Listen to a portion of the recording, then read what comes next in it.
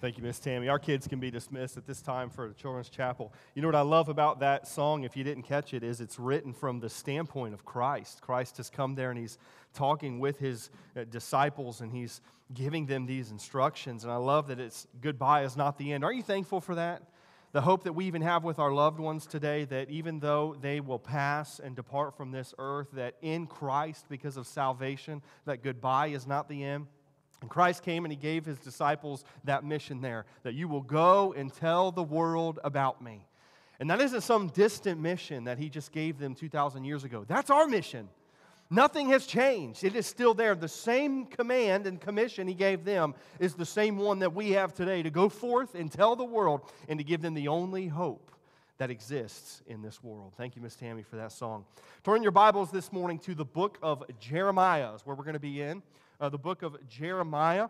We're going to be uh, bouncing around in a few places today, but I think this is the perfect springboard text to uh, kick off our message. The book of Jeremiah, there in the Old Testament, chapter number 9. We're going to look at just two verses in uh, verse 23 and 24. Please stand with me if you are able to this morning out of the respect and the reading of God's word. We love his word here, we honor his word. Uh, we are thankful this morning for the Bible and for God's word. Again, we're going to be in Jeremiah chapter number 9. The title, again, of our new sermon series that we're starting today is He Is. And this is a study on the attributes of God. Jeremiah chapter number 29, beginning in, ver- excuse me, Jeremiah chapter 9, beginning in verse 23. Sorry, I didn't mean to throw you off there. Chapter 9. I do that quite often. My wife just doesn't even notice anymore. She just rolls with it. She goes, That's not right. Verse number 23 Thus saith the Lord. All right, God's speaking, so ears are perked up because this must be important, right? Thus saith the Lord Let not the wise man glory in his wisdom, neither let the mighty man glory in his might. Let not the rich man glory in his riches. Verse 24. But let him that glorieth glory in this, that he understandeth and knoweth me that I am the Lord which exercise loving kindness, judgment, and righteousness in the earth. For in these things I delight, saith the Lord. Father, we are so thankful for your text this morning. Thank you for uh, giving uh, such sinful creatures a perfect book, Lord that we can study you, that we can learn about you, that, that even if we've been believers for 60 years in our life, Lord, that we can still uh, grow uh, more vast in our knowledge of you. Father, I pray as we kick off this study today that through this you would work on our hearts. Lord, you would work on any preconceived notions or pride that we have in our hearts that we're dealing with, that we think we've arrived, that we think we uh, have, have known you to the fullest. Lord, I pray that today you would humble us as a child and Lord, that you would reveal to us that we don't know you at all. Father, that today we would start to see you for who you are, and that through that and because of that, you will change our relationship with you forever. Lord, I thank you again for your holy words. I just pray that you'll use me this morning as a vessel for the next few moments to speak to your people, your precious holy people whom you loved so much that you gave your life for us. We thank you we give you all the, cl- the glory and the honor and the credit for it, Father. It's in Jesus' name we pray. Amen. Thank you. You may be seated. Who is God? Wow. What a question, right? Three words, three very small words, but as we look at that question in our lives, if someone asked that to you today and said, Who is God? Where on earth would we even begin? How would we uh, begin to describe them? And maybe someone would ask you that question this morning. How would you describe God? If someone knew you were a Christian, they knew you'd given your life to Christ, and maybe they wanted to know more, they would say, hey, give, give me this description. Describe God for me. How, how do you even begin to describe the sovereign? How do we even begin to describe uh, the founder and the creator of our universe? And I ask you this morning do you know God? Do you even know Him? See, it's easy for us to throw around, yeah, of course I know him. I know of some things, but no, no, no. Intimately, do you know him? Do you know his character? Do you know the attributes about God? Could, could you put together a presentation of just a few of these attributes that, that describe God? Do we know Him at all? You see, knowing God is the very foundation of our Christian life. How can we say that we're Christians? How can we say that God has changed our life, but when push comes to shove, I don't know Him? You say, Is this even important? You're going to do a whole series on this, Pastor. 22 points we're going to be talking about over the next several weeks. Why is this so important? Well, let me tell you why it's important for the non believer. Because if you don't know God and you never meet God in this life, you will spend an eternity in hell. And I don't want that for you. But I would say this to the Christians this series is important to you because your walk with God will not progress if you do not grow in the knowledge of God. This is why in the Christian church today we can have those that have been saved for 30 and 40 years, but they're spiritual babies. They know nothing of doctrine. They know nothing of Scripture. They know nothing of a closeness with God because they met God and then they've lived how they wanted to live. Let that never be said about us and our families and our lives. But this is almost how Christianity has become expected to be today. This is why you can go to a bookstore, maybe even a Christian bookstore today. And when you look at the books that are lining the shelf, you're going to see more books about self help than you will see books that will tell you more about God and who He is and in His character. Now, if someone were to come to you today and they were to ask you, you know, if someone was to come to, to Brother David Mathers today and said, uh, Brother David, would you describe yourself? Brother David would be able to describe himself. He'd say, I'm a great looking guy. I've got the best sense of humor. That's how I won my amazing wife. He would say, I'm stronger than anybody else at Faith Baptist Church. Look at me. I can pick up a whole chair, you know, in and of myself. And he would describe himself. And if someone came to you today and asked you the same, same question, you would be able to describe yourself. If someone came to you today and said, uh, uh, Brother David, would you describe your spouse for me? We would be able to do that. If someone came to me, I would say she's the best looking woman in the whole entire world. And I don't mean that to offend anyone else, but I've got the best looking lady. She's got the biggest heart I've ever met of anybody. She's funny, she's attractive, she's a great mom. I could go on all day, right? Same thing with our kids. Describe your kids to me, all right? Well, Marshall's kind of a knucklehead, but he's smart and he's growing and he's fast. We've been racing each other this week, and before long, at eight years old, he's going to be able to beat his old man here at racing. I could go do that with each one of my kids.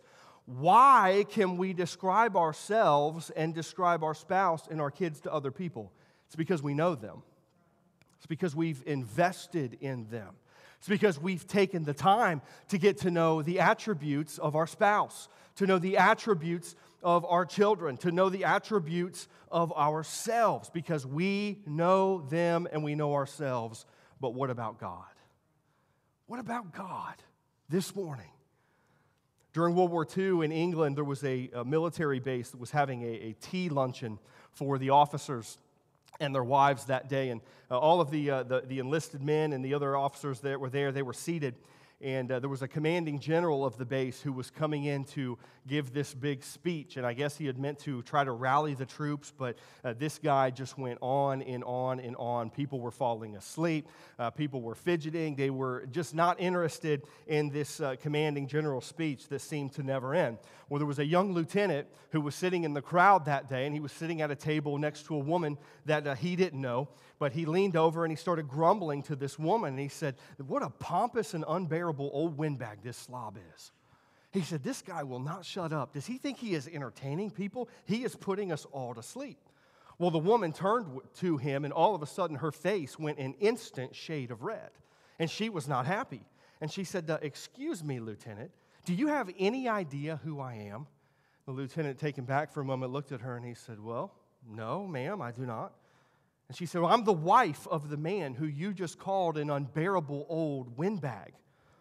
Oh, so then the lieutenant gets in her face and says, Well, ma'am, do you have any idea who I am? And she said, No. And he said, Good. And he got up and ran out the door. he didn't know the general like the wife knew this general, right? And how we view God will impact how we view everything else in our life. Let me say that again to you so that it hits home because it's absolutely the truth. How we view God will impact how you view every single other thing in your life.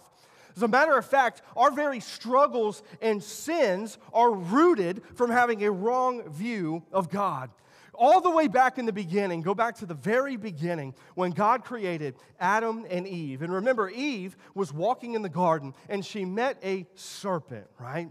And we know that this serpent was Satan.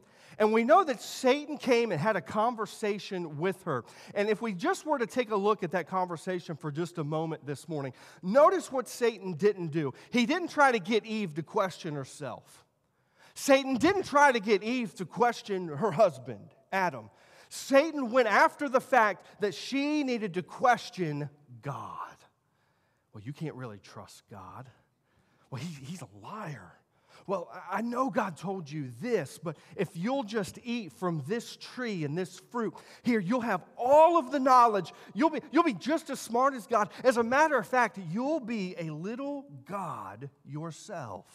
And that's how he came to Eve in the garden. And you know what? It worked, didn't it? It absolutely worked on her. You see, Satan knows the danger of having someone believe the correct and right things about God. And we should too. Because when we have a right understanding of God and who He is, it gives our faith a foundation to build upon.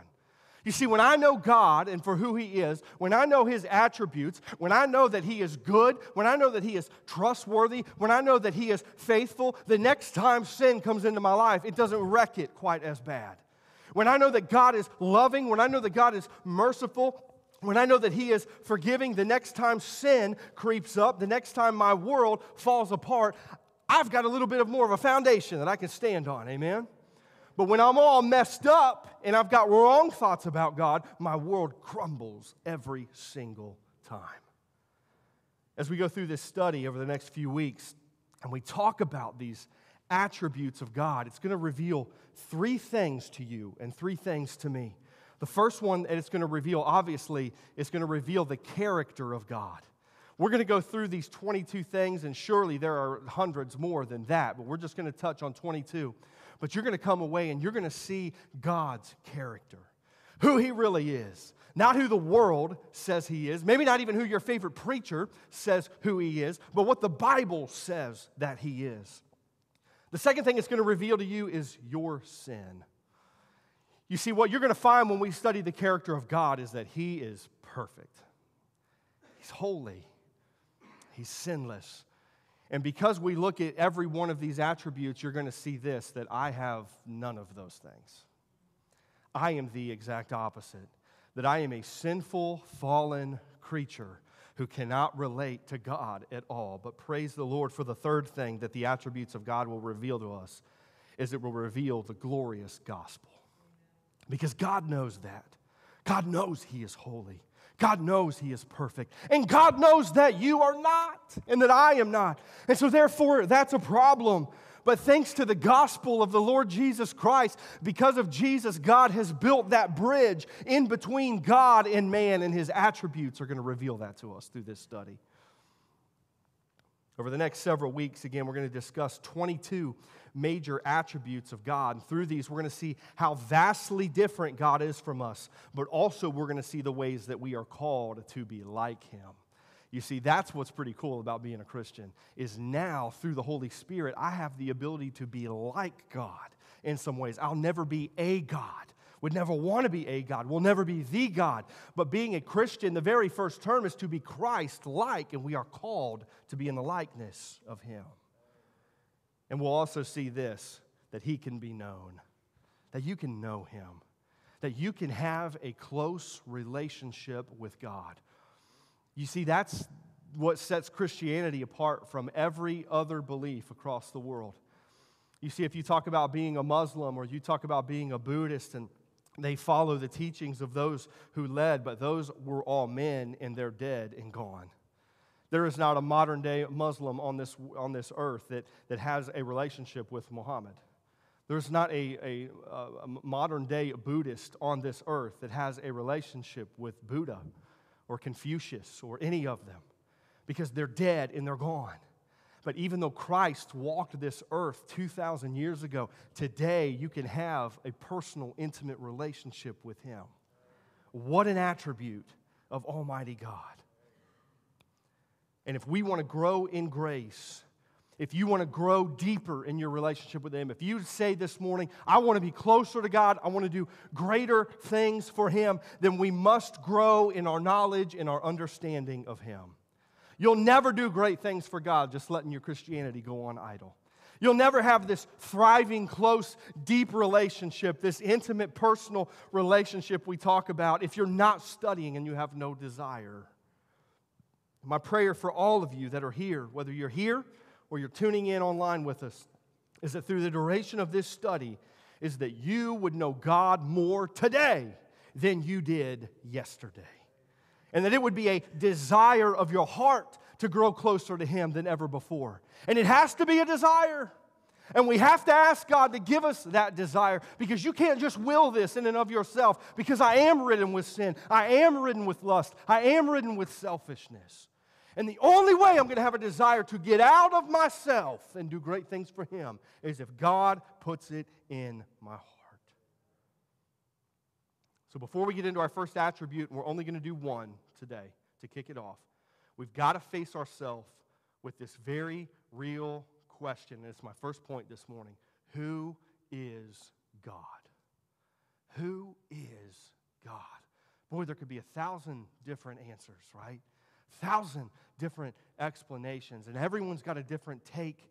But what does the Bible say? And we're just going to look at one passage on this uh, this morning, and there's a, a, bunch we could spend on here, but I want you to just turn to Psalm 86 this morning. And I want you to grab your Bibles or your phones. Uh, this is not on your screen. I did that on purpose because I want you to not get lazy on me. We use our Bibles and we use our phones here. Psalm chapter 86.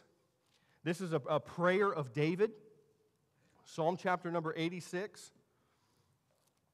And when you get there, we're going to begin in verse 5.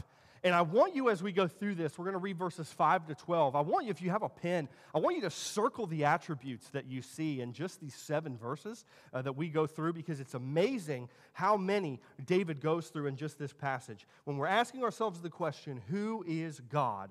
Psalm chapter number 86, beginning in verse 5, he says this For thou, Lord, art good and ready to forgive, and plenteous in mercy unto all them that call upon me on thee. Give ear, O Lord, unto my prayer, and attend to the voice of my supplications. In the day of my trouble, I will call upon thee, for thou wilt answer me. Among the gods, there is none like unto thee, O Lord, neither are there any works like unto thy works. All nations whom thou hast made shall come and worship before thee, O Lord and shall glorify thy name. For thou art great and doest wondrous things. Thou art God alone. Teach me thy way, O Lord. I will walk in thy truth. Unite my heart to fear thy name. I will praise thee, O Lord my God, with all my heart, and I will glorify thy name forevermore. What a prayer! What credit that gives to God. And you know, God has given us a book today. I'm thankful that this isn't just something that we have to figure out on our own. And this isn't something that we have to come together in a giant brainstorming session. And well, what is God like? Well, well, David, what do you think? Well, Wes, what do you think? Well, well, Jimmy, what do you think? And we have to pawn that. It's already right here for us. God has given us a book, a perfect book, an inerrant book an infallible book, and it's called the Bible. And yes, the Bible contains many different characters within it. Yes, the Bible contains many different stories, but from cover to cover, from Genesis to Revelation, this is a book about God. This is a book that consistently points us to Him and who He is. Amen. Are you with me today, or am I the only one in this building? We have a wonderful, perfect book it is a love letter to us. It is a gift to us that we don't have to pull at straws, that we know who God is, but we got to get into it. I love what A.W. Tozer says. He says, What comes into our mind when we think about God is the most important thing to us. You see, every aspect of our lives is based upon our understanding of who God is. Who is He to you? Let me give you just a sad truth on this. The sad truth is we would expect the world doesn't know who He is. But the sad truth is that today, January 2023, all across our nation, all across our world, there are many that are sitting in church pews that do not even know who God is. You see, some people view God as a universal police officer. This is their view of him, that is just roaming the land, right? And he's looking to see who's disobeying. And he's looking to see who's, who's breaking the law, right? Because God never wants any of us to have fun. God's the biggest killjoy that there is. I mean, He's looking to see how many of you are going to live by the 600 some Levitical law. And man, the minute you don't, boom, He's going to give you the smackdown. There are those of us that believe that. That's how we view God. He's just this rule keeper. He's like the SS, right? The, the, or the Gestapo, the secret police that are just waiting for us to screw up. And the problem is, those that believe this, is that it ends up causing them to believe that God at his very core is not good. And that's not God. But then, on the flip side, there are others who view God as like a grandpa, right? We view God as like this Santa Claus. He's got a big, long white beard. He's probably got a jolly belly like your pastor does. And he just wants you to come sit on his lap and give me your wish list and man tell me everything that you want for christmas we uh, there are some that view him as being uh, kind to everyone that he is not bothered by his sin that god is always happy as long as we are trying to be our best self today trying to just be the best human being that we possibly can and let me say this to you this morning that is not god either and I'm thankful we don't have to figure this out on our own because the Bible paints us a far different picture in all of that of who God is. Let me tell you just a few. The Bible describes him from the very beginning as the creator and source from all things. This may not be news to you, but you didn't come from monkeys today. Aren't you thankful for that? Aren't you thankful that you didn't come from like a booger of slime that supposedly grew out of the green swamp and now we have Neanderthal people walking around here in Polk County today. Some of us look like that, right? But we know that that's not what happened. I'm just kidding. I'm just kidding. I'm in there. He's the creator, He's the source of all of those things. The Bible says that He is declared as one God in three persons. We believe in the Holy Trinity that God the Father, God the Son, God the Holy Spirit, while different, are co equal and are one. That is a triune God that cannot be matched and will never be matched. The Bible says that our God is not silent, He speaks. Aren't you thankful for that this morning? That God will speak to you, give you wisdom, give you guidance, answer your prayers. Our God says that He calls His own out of every nation, out of every tribe, out of every tongue. The Bible says that God's love is steadfast and sure. The Bible says that God is faithful to us even when we are not. The Bible says that he draws near to us. The Bible says that God wants a closeness with you even when you want to run away and be distant from him. The Bible says that he himself became a man in the form of Jesus Christ with the purpose of drawing near to us. He humbles himself without losing any of his holiness. He calls us to follow him. He dwells within us and empowers us to answer His call. The Bible says that our God is a working God. He's not a God that is asleep. He's not a God that is dead. He's not a God that gets tired and has to clock out and you've got to call the holy uh, hotline to get an appointment with Him on a certain time and day. He is always working for you. And here's the one that I love the Bible says that our God is a God who is coming again that this isn't it. I'm thankful for that. There's no purgatory, there's no soul sleep. For the Christian, the best is yet to come. That is our God. And so here we are as Christians, Here we are as believers, right? Self claimed uh, followers of Christ that have a testimony and, and come to church and serve Him. And some of us go to Sunday school, and some of us come on Wednesday nights and we work in VBS and do all of these things. And should that be our greatest desire? I would say no. They're good desires, and every Christian should have those things. But I believe this that the greatest desire for Christians should be to know Him to know God.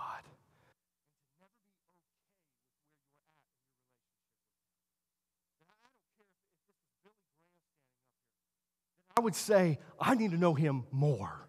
I need to know his scriptures deeper. That I'm not okay with where I'm at in my relationship with him. I believe our desire as Christians should be to do and everything that we can to bring glory to his name that we would seek to have hearts that beat his name and to be transformed by our very knowing of him. You see, the problem with Christianity today is our churches are filled with people who have supposedly gotten saved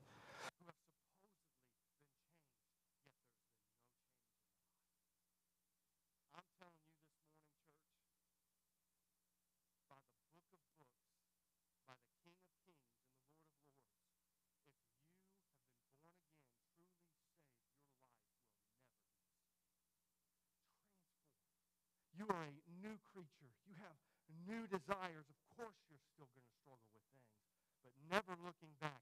And nothing should matter as much to me about being, being close to my Father as I possibly can.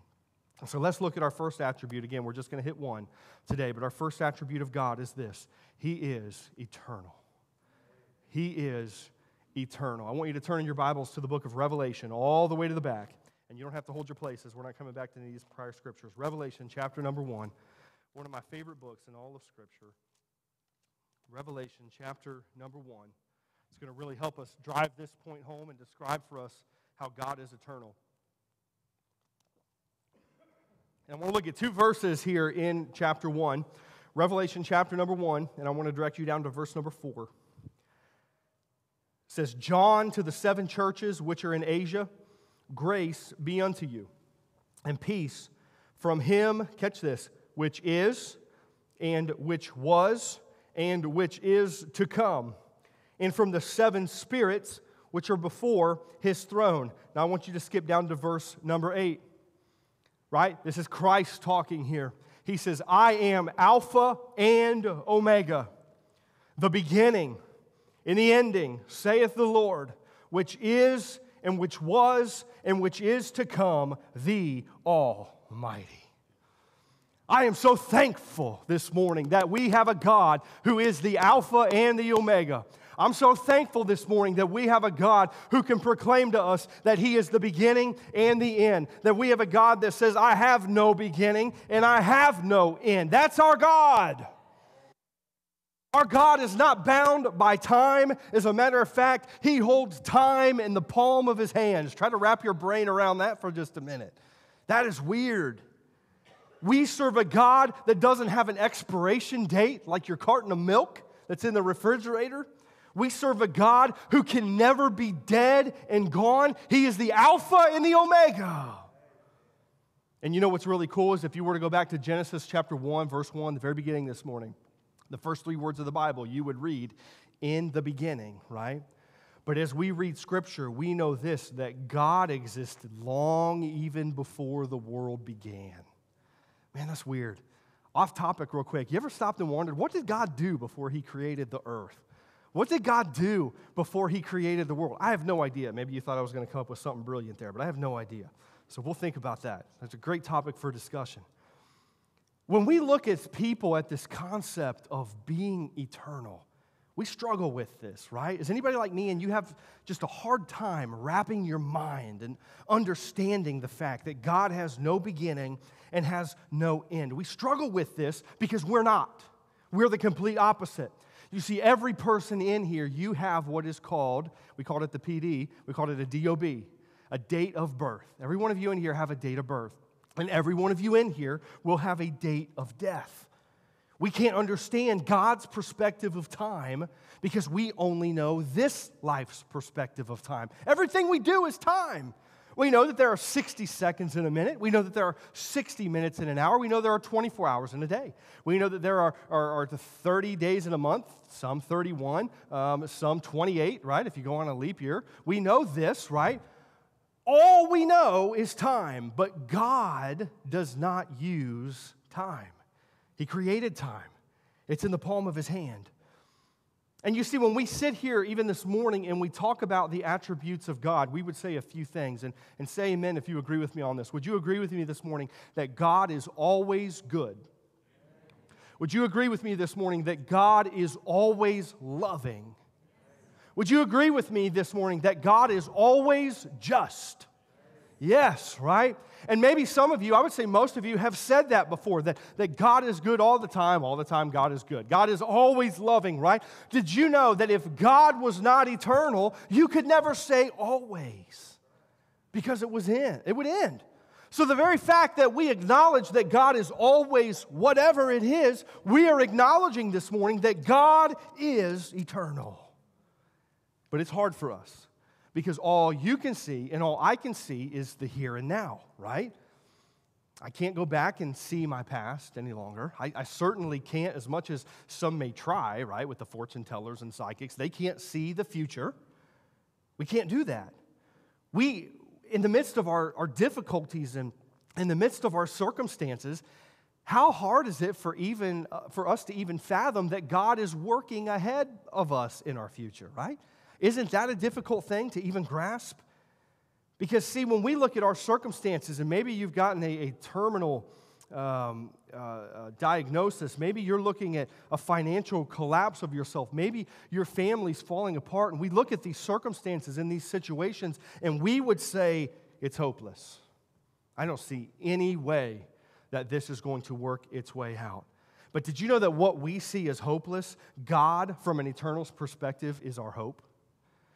Because what we fail to realize is that while I'm dealing with that poopy diaper of my life right now, God's already way ahead of me, already fixing it. God's already way ahead of me, and He's got plans for me that I can't see, but I'm called to follow Him and believe in Him and trust in Him that He's got the best plan for me.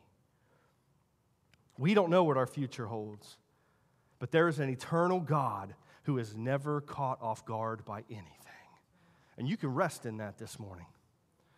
Because some of you are in here this morning and maybe your world is already rocked and nobody even knows what's going on. It didn't rock God.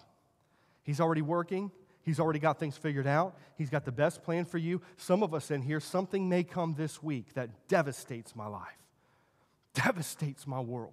And while I'm scrambling and I can't even think and I'm not even thinking coherently and I can't put a plan in action, I don't have to worry about it because God already has done it and He's working in my life because He's eternal. And we can have comfort in the fact today that our God is the same yesterday, today, and forever. And I'll kind of give us a little snippet. We're not going to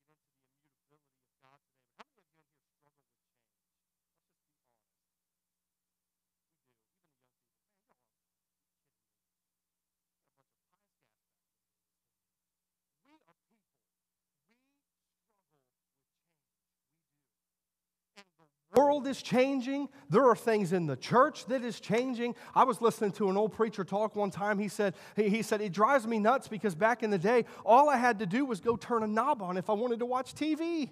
Now I've got about 18 different remotes. I've got to hit power on this one, source on this one. It's a nightmare trying to even just watch TV. We live in that, and it is hard. I acknowledge it. There are things that, that I struggle with with that. But our God never changes, always the same. And you can put money on that. What a comfort it is to know that because of an eternal God who has shed his blood for us, even though my body will die one day, even though your body will die, I'll live forever because of an eternal God. And that's. The other neat thing that the Bible tells us is that God hasn't kept eternity to himself. He hasn't, he hasn't kept eternity as a secret. As a matter of fact, the Bible says this that He has put eternity in our hearts. Let's take a look at that. Turn with me one more verse this morning to the book of Ecclesiastes, chapter number three. Go back to the Old Testament of your Bible, Ecclesiastes chapter number 3, verse 11.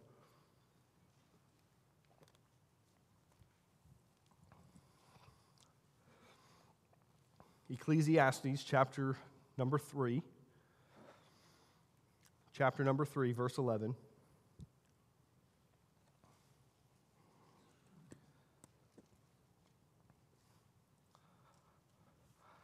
All right, let's read this. I'll break it down for you. It says, He hath made everything beautiful in His time. Also, He hath set the world. And let's, let's discuss what that, that word, the world there, that, that word, the world, comes from the Hebrew word olam, O L A M, olam, and it means this eternity. So if we go through and we say that, also, He has set eternity in their heart so that no man can find the work that God maketh from the beginning to the end. You know, we talked about how important it is that God was the creator and the source of all things. That means that He created you. Like it or love, love it, right? Or hate it. He created you. He created everything about you. He created your DNA. And so God put this characteristic from Him into you. And that characteristic is that we were designed to follow things that would fulfill us for eternity. But when sin came into our hearts, all of that changed.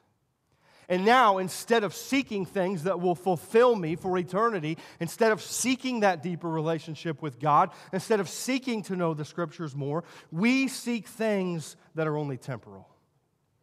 We look for things in this world to fill those voids in our life. That's why uh, we turn to sex. That's why we turn to things uh, like drunkenness and alcohol. That's why uh, we turn to things like food to help make me feel good when I'm depressed. This is why we turn to things like uh, seeking the approval of other people, right? Because if, if, as long as everybody can just like me and they approve of me, I'll, I'll be fulfilled. This is why we turn to things like uh, having this, this body image that we have to keep, right? Because if I'm happy with myself and eh, I'm just got the self esteem, then I'll be fulfilled, right? That's not what God designed for us.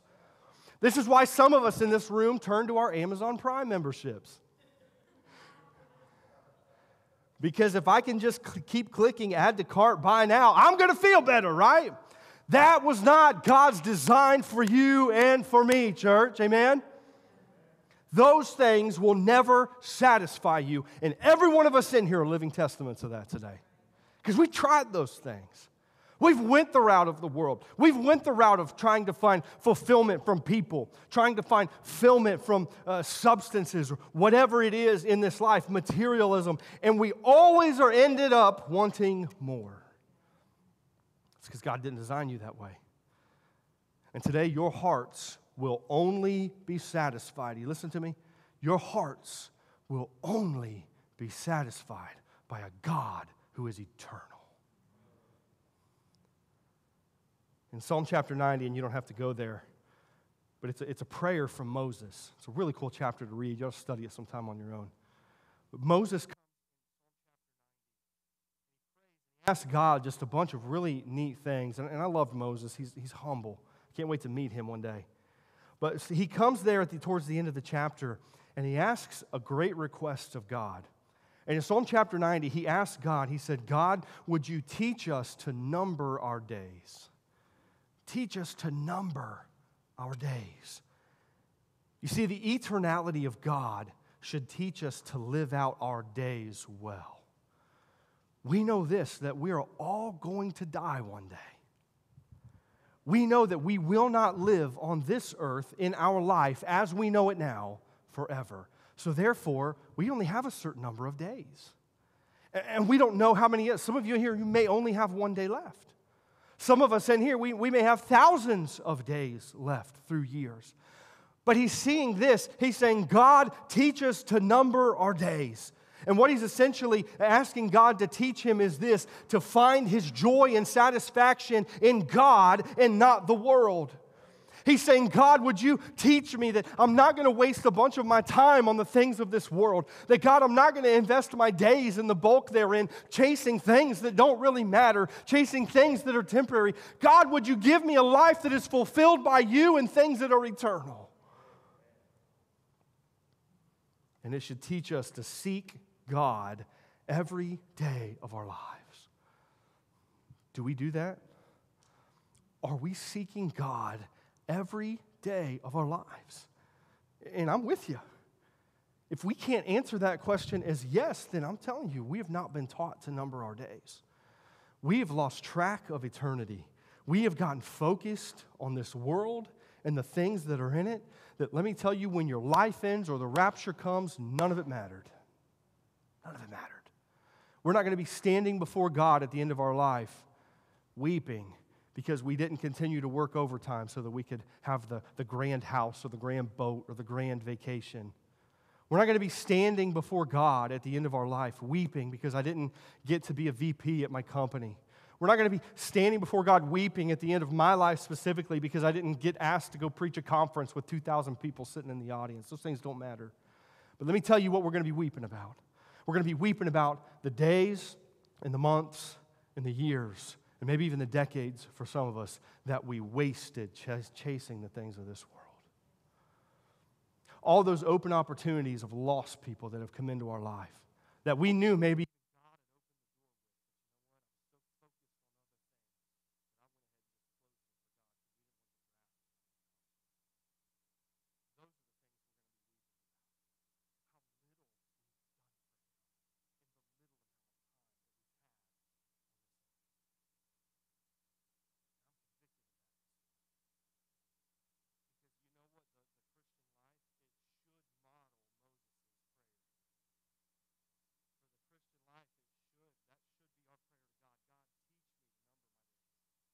God, teach me to stop focusing on the things of this earth. But for most of us in here, and many times including your pastor, that doesn't include our life. That's not us. There's many times where I'll, we'll leave out of here Sunday, right? And we close this book and it ain't getting opened again until the next week.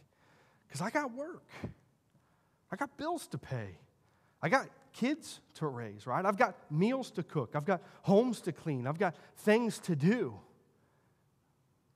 And there's going to be a lot of tears that are shed at the end of our life as we stand before God because we've misused our time. My prayer is that for some of you here, this clicks this morning. Because some of you here, if you're just being real with yourself, you're lost. You're not saved. You don't know Jesus Christ as your Lord and Savior. Maybe it's been a tradition in your family and your home growing up. Maybe for some of you, you, you like to come to church, you like to be around God's people, it makes you feel good, but you have always wondered about it. And you've always been confused. Why isn't this clicking for me? That's why. Because you've never put your faith and trust in Christ. Some of you in here this morning, you're believers. You have a testimony. You know there was a time where your life was changed. You've given your life to Christ. You've repented your sin, but you're miserable this morning. You say, I have no joy. Joy from God departed my heart a long time ago. I'm struggling. And maybe, just maybe this morning, God will reveal to you that the reason that you're miserable is because your priorities are all messed up. They're all backward. Because now, instead of chasing God and chasing the things that He loves and the things that glorify Him, I've put me first. Or I've let the grief take over my life. Or I've let bitterness or anger control me, and it will absolutely control you. And then there are some of you here this morning that maybe you would just identify in this category and you would just say, I'm confused. I'm just confused. I know God, I've walked with Him, I've got these, I've seen Him perform miracles in my life and in my family, but I've fallen into this sin or I'm struggling with this thing in my life and I'm just in this spiritual battle. And I don't know which way to go. I don't know that I'm ready to give these things up, but I don't know. I know that this isn't the right path to go. And some of you are just confused this morning. Church, what we must remember is that God holds every moment of your day in his hands. Imagine that. He's just holding you in his hands. Every second that clicks by on that clock, every time the minute hand changes on your phone, God's holding it in your hands. And let me say this this is what makes